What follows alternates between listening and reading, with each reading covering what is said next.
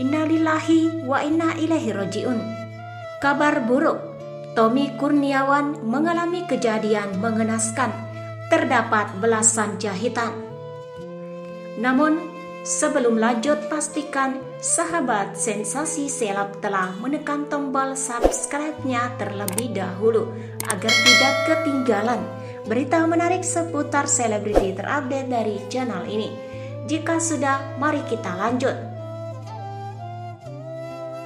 Dikutip sensasi seleb dari Viva, pesinetron tampan Tommy Kurniawan mengalami kejadian mengenaskan yang mengharuskan dirinya harus menjalani perawatan ke rumah sakit untuk melakukan berbagai pemeriksaan.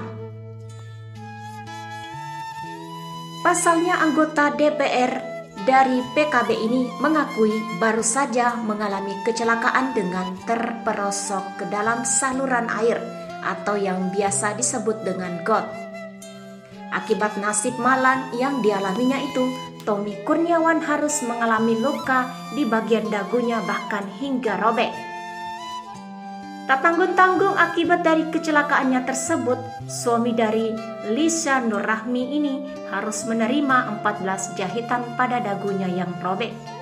Hal ini diungkapkan pada akun Instagram miliknya ketika Tommy Kurniawan membagikan potret dirinya usai melakukan perawatan di rumah sakit.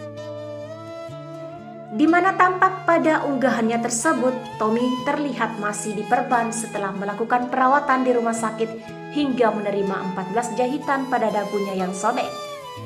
Kadarullah 10 jahitan luar, 4 bagian dalam. Ceritanya pulang sholat subuh dari masjid mau olahraga. Sebelum olahraga saya mau pemanasan dulu dengan kegiatan lain kata Tommy Kurniawan. Terus saya jalan eh gak taunya besi buat nutup atas saluran air posisinya lagi gak pas dan saya injaklah. Cedar, jeblos masuk ke dalam kaki saya, sambungnya. Nah, Begitulah kejadian yang dialami oleh Tommy Kurniawan. Semoga cepat sembuh.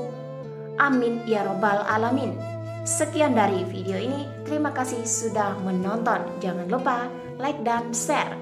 Nantikan video menarik selanjutnya dari Sensasi Selap. Sampai jumpa lagi.